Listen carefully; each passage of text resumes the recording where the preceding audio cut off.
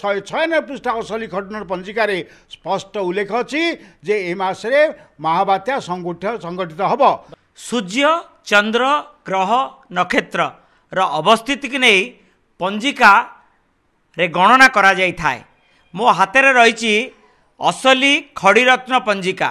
ଯେଉଁ ପଞ୍ଜିକାରେ ଉଲ୍ଲେଖ ରହିଛି ଯେ ବାତ୍ୟା ସମ୍ପର୍କରେ ସାମୁଦ୍ରିକ ଝଡ଼ ସମ୍ପର୍କରେ ଏବଂ ବନ୍ୟା ସମ୍ପର୍କରେ। କେବଳ ବାତ୍ୟା ବନ୍ୟା ସାମୁଦ୍ରିକ ଝଡ଼ ନୁହଁ ଏଥିରେ ବିଶେଷ କରି ରହିଥାଏ ଯାନିଯାତ୍ରା ସମ୍ପର୍କରେ ଏବଂ ଶୁଭ ଅଶୁଭ ଫଳ ଏବଂ ମହେନ୍ଦ୍ର ବେଳା ଏବଂ କିଭଳି ଭାବେ ଯାନିଯାତ୍ରା ସଂଗଠିତ ହୋଇଥାଏ ବା ଅନୁଷ୍ଠିତ ହୋଇଥାଏ। ଏ ସମ୍ପୂର୍ଣ୍ଣ ବିବରଣୀ ଏକ ବର୍ଷ ପୂର୍ବରୁ ଦୋଳ ପୂର୍ଣ୍ଣିମା ଦିନ ହିଁ ମାନେ ପଠନ କରାଯାଇଥାଏ ମହାପ୍ରଭୁଙ୍କ ସମ୍ମୁଖରେ। ଦୋଳ ଗୋବିନ୍ଦଙ୍କ ସମ୍ମୁଖରେ ଏବଂ ତାପରେ ପରେ ପଣା ସଂକ୍ରାନ୍ତିରେ ପଞ୍ଜିକା ପ୍ରଚଳନ କରାଯାଇଥାଏ। କିନ୍ତୁ ଆପଣ ଜାଣି ରଖନ୍ତୁ ଯେ ଆଜି ବାତ୍ୟା ସମ୍ପର୍କରେ ଯେଉଁ ଆଇ ଏମ୍ ଡି ସୂଚନା ଦେଉଛନ୍ତି ତା'ର ଯଥେଷ୍ଟ ପୂର୍ବରୁ ପଞ୍ଜିକାରେ ଉଲ୍ଲେଖ କରାଯାଇଥାଏ। ତେଣୁ ପଞ୍ଜିକାରମାନେ ଗଣନାକାରମାନେ ଅନେକ ବିଷୟ ଯେଉଁ ବୈଜ୍ଞାନିକ ଦୃଷ୍ଟିକୋଣରୁ କୁହନ୍ତୁ ଏବଂ ବାସ୍ତବ ଦୃଷ୍ଟିକୋଣରୁ କୁହନ୍ତୁ କିମ୍ବା ଜ୍ୟୋତିର୍ବିଦ ଦୃଷ୍ଟ ଦୃଷ୍ଟିକୋଣରୁ କୁହନ୍ତୁ ସମସ୍ତେ ଏ ଏ- ଏ- ଏ ପଞ୍ଜିକାକୁ ହିଁ ବିଶେଷ କରି ଅନୁଧ୍ୟାନ କରିଥାନ୍ତି।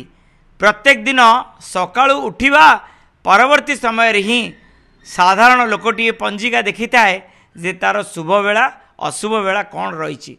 ଏବଂ ଆଜି ବର୍ତ୍ତମାନ ଗୋଟେ ଚର୍ଚ୍ଚାର ପରିସର ହେଉଛି ଯେ ପଞ୍ଜିକାରେ ଉଲ୍ଲେଖ ରହିଛି ଯେ ବାତ୍ୟା ସମ୍ପର୍କରେ ସାମୁଦ୍ରିକ ଝଡ଼ ସମ୍ପର୍କରେ। ମୋ ସହିତ ଅଛନ୍ତି ଆ, ଜ୍ୟୋତିର୍ବିଦ ହରିଶଙ୍କର ମିଶ୍ର। ଶ୍ରୀଯୁକ୍ତ ଆ, ହରିଶଙ୍କର ମିଶ୍ର ପଞ୍ଜିକାରେ ଉଲ୍ଲେଖ ରହୁଛି। ଦୋଳ ପୂର୍ଣ୍ଣିମା ଏବଂ ପଣା ସଂକ୍ରାନ୍ତି ଏବଂ ଆଜି। ଦୋଳ ପୂର୍ଣ୍ଣିମା ପଣା ସଂକ୍ରାନ୍ତି ଏବଂ ବର୍ତ୍ତମାନର ସ୍ଥିତି ପଞ୍ଜିକାରେ ଉଲ୍ଲେଖ ରହିଛି। ଜୟ ଶ୍ରୀ ଜଗନ୍ନାଥ। ଦେଖନ୍ତୁ ଆପଣ ଯାହା କହିଲେ ସୂର୍ଯ୍ୟ ଉଦୟ ଠାରୁ ରାତି ପର୍ଯ୍ୟନ୍ତ ପ୍ରତ୍ୟେକ ଯୋ- ସୂଚନା ଆମର ପଞ୍ଜିକାରେ ଥାଏ। ମାସିକ ସୂଚନା ପଞ୍ଜିକାରେ ଥାଏ। ବାର୍ଷିକ ସୂଚନା ମଧ୍ୟ ପଞ୍ଜିକାରେ ଥାଏ।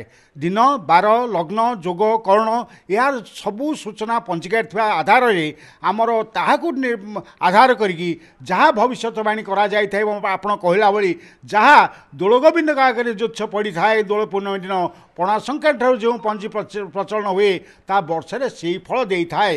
ଶସ୍ୟ କିଭଳି ହେବ ଦରଦାମ କେମିତି ରହିବ କେଉଁ ଦର ବୃଦ୍ଧି ହେବ କେଉଁ ଦର କମିବ ବିବାହ ତିଥି ଶୁଭ ଲଗ୍ନ ଶୁଭ ବେଳା ମାହେନ୍ଦ୍ର ବେଳା ଅମୃତ ବେଳା ସମସ୍ତ ଜିନିଷ ଏଇ ପଞ୍ଜିକାରେ ହିଁ ଥାଏ ତେ- ତେବେ ଏଇ ମଧ୍ୟ ପାଣିପାଗର ସୂଚନା ମଧ୍ୟ ପଞ୍ଜିକାରେ ରହିଥାଏ ଏବଂ ଯାହା ପଞ୍ଜିକାରେ ସୂଚନା ରହିଥିଲା ବା ରହିଛି ଏଇ ସଂକ୍ରାନ୍ତି ଦିନ ଯେଉଁ ତୁଳା ସଂକ୍ରାନ୍ନ ଯେଉଁ ମାସିକ ବୃଷ୍ଟିପାତ ବା ପାଣିପାଗ ସମ୍ପର୍କ ସୂଚନା ରହିଛି। ଶହେ ଛୟାନବେ ପୃଷ୍ଠା ଅସଲି ଘଟଣାର ପଞ୍ଜିକାରେ ସ୍ପଷ୍ଟ ଉଲ୍ଲେଖ ଅଛି ଯେ ଏ ମାସରେ ମହାବାତ୍ୟା ସଂଗଠିତ ସଂଗଠିତ ହେବ। ତାହା ହେବା ବାତ୍ୟା ଆପଣଙ୍କ ବାତ୍ୟା କୁହନ୍ତୁ ବା ପବନ ବାତ୍ୟା ଇତ୍ୟାଦି ସଂଗଠିତ ହେବ ଏବଂ ତାହା ହେବାକୁ ଯାଉଛି ବା ଆପଣ ଘୂର୍ଣ୍ଣି ବାତ୍ୟା କୁହନ୍ତୁ ତାହା ଜ୍ୟୋତିଷିକ ଭାଷା ବିଜ୍ଞାନ ଭାଷା ଅଲଗା କିନ୍ତୁ ଆପଣଙ୍କର ଅଗ୍ନିଦାହ କେଉଁ ବର୍ଷ ଅଧିକ ହେବ କେଉଁ ବର୍ଷ କେଉଁ ଜ- ଜିନିଷର ଦର ବଢ଼ିବ କେଉଁ ଯୁ- ବର୍ଷ ଅ, କେତେ ଏବଂ ଏବଂ ଏ ଫସଲ ଗ- ଏ ହେବ। ଗଣନାରେ କିଛି ରହୁଛି କି? ସାମୁଦ୍ରିକ ଝଡ଼ ବା ବାତ୍ୟା ସଂଗଠିତ ତ ହେବ। ଆଇଏମ୍ଡି ବର୍ତ୍ତମାନ ବୈଜ୍ଞାନିକ ମାନେ କହିସାରିଲେଣି। କିନ୍ତୁ କେତେ ମାତ୍ରାରେ ହେବ?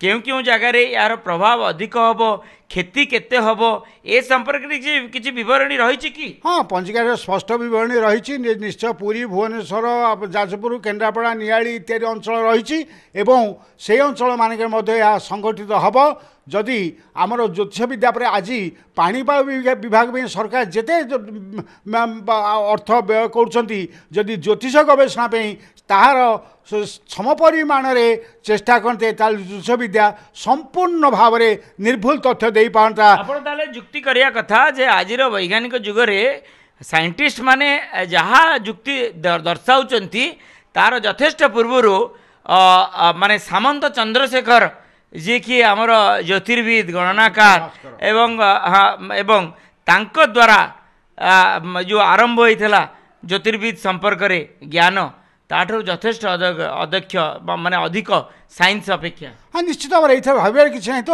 ଆପଣଙ୍କର ଜ୍ୟୋତିଷ ବିଦ୍ୟାର ଅ, ସୂର୍ଯ୍ୟ ଗ- ମ- ଗ୍ରହଣ ଏବଂ ଚ- ଏ ସୂର୍ଯ୍ୟ ପରାଗ ଏବଂ ଚନ୍ଦ୍ରଗ୍ରହଣ ଯେଭଳି ଆଗୁଆ କୁହାଯାଇପାରୁଛି ଆପଣ ଏଇଟା ମନେ ରଖିଥାନ୍ତୁ ଯଦି ସ୍ୱାତି ନକ୍ଷତ୍ରରେ ଗୋଟେ ଗେଣ୍ଡା ସମୁଦ୍ର ଭିତରେ ପାଟି ଆଁ କରି ରହିଥାଏ ଯଦି କାକରଟେ ପଡ଼େ ତାହା ହିଁ ମୁକ୍ତ ହୁଏ। ସେଇଟା ଜ୍ୟୋତିଷ ଶାସ୍ତ୍ର। ଆପଣଙ୍କର ମାନେ ଆଉ ଗୋଟେ ବଡ଼ କଥା କହିଲେ କ'ଣ ସେଇଟା? ଆପଣଙ୍କର ସ୍ୱାତି ନକ୍ଷତ୍ରରେ ଯ- ଯଦି ଗୋଟିଏ ଗେଣ୍ଡା ବା ବା ଶାମୁକା ଯାହା କୁହନ୍ତି ସମୁଦ୍ର ଉପରେ ପାଟି ମେଲା କରିଥିବ ଏବଂ ତା- ତା ପାଟିରେ ଯେଉଁ କାକର ବୁନ୍ଦାଟା ପଡ଼ିବ ସେଇଟା ହିଁ ହେଉଛି ମୁକ୍ତା। ଏବଂ ନିର୍ଦ୍ଦିଷ୍ଟ ଲଗ୍ନରେ ଯେତେବେଳେ ଆପଣଙ୍କର କର୍ପୂର ନଥିଲା କଦଳୀ ଗଛରେ ଯେଉଁ କାକର ପଡ଼ୁଥିଲା ତାହା ହିଁ ହେଉଥିଲା କର୍ପୂର।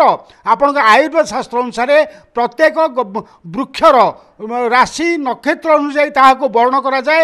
ରବି ପୁଷା ଯୋଗ କ'ଣ ଗୁରୁ ପୁଷା ଯୋଗ କ'ଣ ସେଇ ନ- ସେଇ ଦ୍ରବ୍ୟ- ଗଛରେ ଯଥେଷ୍ଟ ଭାବରେ ଔଷଧୀୟ ଗୁଣ ଥାଏ ଏବଂ ତାହା ଲୋକଙ୍କୁ ରୋଗରୁ ଉପଶମ ଦିଏ। ଏ ମଧ୍ୟ ଜ୍ୟୋତିଷ ବିଦ୍ୟା ଆୟୁର୍ବେଦ ଏ ସମସ୍ତେ ଅଙ୍ଗାଙ୍ଗୀ ଭାବେ ଜଡ଼ିତ ଯେତେବେଳେ ବିଜ୍ଞାନ ନଥିଲା ସେତେବେଳେ ଏଇ ଗଣନା ଏଇ ରାଶି ନକ୍ଷତ୍ରକୁ ନେଇକିରି ଆମର ସମ୍ପୂର୍ଣ୍ଣ ଚିକିତ୍ସା ଶାସ୍ତ୍ର ଏବଂ ଧର୍ମଶାସ୍ତ୍ର ଏବଂ ଲୋକର ଚାଲି ଚଳଣି ଆଦି ପୂଜା ପାଠ କିଭଳି ଭାବେ ଆଦି ଆମେ ମଧ୍ୟ ଆଜି ମନେ ପକେଇବା ହେଉଥିଲା। ସାମନ୍ତ ଚନ୍ଦ୍ରଶେଖରଙ୍କୁ ନିଶ୍ଚିତ ଭାବେ ଦେଖନ୍ତୁ ଉତ୍କଳ ସେ ଆପଣ ତ ଲେଖିଛନ୍ତି ଅମ୍, ଉମ୍, ଉମ୍, ଇଏ ଆପଣଙ୍କର ସେ ଜଣେ ଏଭଳି ଥିଲେ ଯେ ମ, ସିଦ୍ଧାନ୍ତ ଦର୍ପଣ ହେବ ନାହିଁ ଲୟ।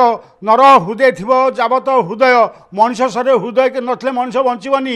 ତେଣୁ ସିଦ୍ଧାନ୍ତ ଦର୍ପଣ ବିନା ଆମର କୌଣସି ଜିନିଷ ନାହିଁ। କିନ୍ତୁ ଦୁଃଖ ପରିତାପର ବିଷୟ ଯେ ସମସ୍ତେ ସିଦ୍ଧାନ୍ତ ଦର୍ପଣ ନେଇ ପାଞ୍ଜି ଗଣନା କରୁଛନ୍ତି ବୋଲି ଦାବି କରୁଥିବା ବେଳେ ପଞ୍ଜିକାରେ ବହୁତ ପାରସ୍ପରିକ ତ୍ରୁଟି ରହୁଛି ଏବଂ ସରକାର ଯଦି ଏହା ଉପରେ ପ୍ରକୃତିରେ ଧ୍ୟାନ ଦିଅନ୍ତେ ଯଦି ପଞ୍ଜିକାକୁ ଗଣନା ସିଦ୍ଧ କରାଯାଆନ୍ତା ତାହେଲେ ଇଏ ବିଜ୍ଞାନର ଆବଶ୍ୟକତା ପଡ଼ନ୍ତା ନାହିଁ। ସେଥିରେ ଯୁଦ୍ଧ ମାରଣାସ୍ତ୍ର ସବୁ ବିଦ୍ୟା ଆଜ୍ଞା ଆମର ଏହି ପ- ଜ୍ୟୋତିଷ ବିଦ୍ୟାରେ ରହିଛି ଏ ତା- ଏବଂ ତାହା ମଧ୍ୟ ଜନଜୀବନର ପ୍ରତ୍ୟେକ ମୁହୂର୍ତ୍ତ ପାଇଁ ନିଶ୍ଚିତ, ଆବଶ୍ୟକୀୟ ନିଶ୍ଚିତ। ଏବେ ମଧ୍ୟ ପ୍ରମାଣିତ ହେଇଗଲା। ବାତ୍ୟା କଥା ଅନେକ ପୂର୍ବରୁ ମଧ୍ୟ ଉଲ୍ଲେଖ କରାଯାଇଛି। ଏଥିରେ କିଛି ଏତେଟା କ୍ଷତିଗ୍ରସ୍ତ ହେବ ନାହିଁ ତ? ଆମେ କ'ଣ କହିପାରିବା? କାରଣ ଧନ ଜୀବନର କଥା ଏବଂ ଅ, ଦେଶର କଥା ମାଟିର କଥା ଏ ମାଟି କ୍ଷତିଗ୍ରସ୍ତ ନ ହେଉ ଏ ଦେଶ କ୍ଷତିଗ୍ରସ୍ତ ନ ହେଉ ଏହା ହିଁ ଆମେ କାମନା କରିବା। ଦେଖନ୍ତୁ ବଳ ଦୈବୀ ବଳ ବିନା ନାନ୍ୟ ବଳମ୍। ଯେତେବେଳେ ପ୍ରକୃତି ଏବଂ ଦୈବୀ ତାଙ୍କ ବଳ ପାଖେ ମନୁଷ୍ୟ କିଛି ନୁହଁ କିନ୍ତୁ- ଏହା ହେଉଛି ମହାପ୍ରଭୁଙ୍କ ଦେଶ। ବର୍ତ୍ତମାନ ଯେହେତୁ ଗୋଟେ ବିପତ୍ତି ଆସିଛି ଆମେ ମହାପ୍ରଭୁଙ୍କ ଶରଣାଗତ ହେବା। ମହାପ୍ରଭୁ ଆପଣ ଏ ବିପତ୍ତିରୁ ଉଦ୍ଧାର କରନ୍ତୁ। ଆପଣ ଦେଖିବେ ପୁରୀକୁ ଅନେକ ସମୟରେ ବାତ୍ୟା ମାନେ ଏଇଠି ହିଁ ଲ୍ୟାଣ୍ଡଫଲ୍ କଥା ଉଠେ କିନ୍ତୁ କେଉଁଠି ନା କେଉଁଠି ମହାପ୍ରଭୁଙ୍କର ଆଶୀର୍ବାଦ ଯୋଗୁଁ ବାତ୍ୟା କେଉଁଠି ନା କେଉଁଠି ଟଳିଯାଏ। ଏବଂ ସମ୍ପୂର୍ଣ୍ଣ ଓଡ଼ିଶାରୁ ଟଳିଯିବ ବୋଲି ଭାବୁଛନ୍ତି। କେବଳ ଓଡ଼ିଶା ନୁହଁ କେଉଁଠି ବି ସଂଗଠିତ ନ ହଉ ଏହା ହିଁ କାମନା କରିବେ। ହଁ ଆମେ ନିଶ୍ଚିତ ଭାବରେ ଆଶା କରିବା ମହାପ୍ରଭୁ ଆମକୁ ଧନ ଜୀବନର ସୁରକ୍ଷା ଦିଅନ୍ତୁ। କିନ୍ତୁ ବୃଷ୍ଟିପାତ ତ ହେବା କଥା ଅବଶ୍ୟ ହେବ କାରଣ ତାହା ମଧ୍ୟ କୃଷି ପାଇଁ ଅଙ୍ଗାଙ୍ଗୀ ଭାଇ ଜଡ଼ିତ ବୃଷ୍ଟିପାତ ନହେଲେ ଏହି ସମୟରେ ବର୍ତ୍ତମାନ ବର୍ଷାର ଆବଶ୍ୟକତା ଅଛି। ଆମେ କେବଳ ମ, ସର୍ବେ ହୋଇନ ଏକମୁଖ ବୋଲିବା ଜଗଦୀଶ ରକ୍ଷ। ତେଣୁ ସବୁଠୁ ଯେଉଁ ଐଶ୍ୱର୍ଯ୍ୟ ଶକ୍ତି ଅଛି ତାହା ପାଖେ ଆମେ ଶରଣାଗତ ହେଲେ ନିଶ୍ଚିତ ଆମେ ସବୁ ବିପଦରୁ ଉଦ୍ଧାର ପାଇପାରିବା।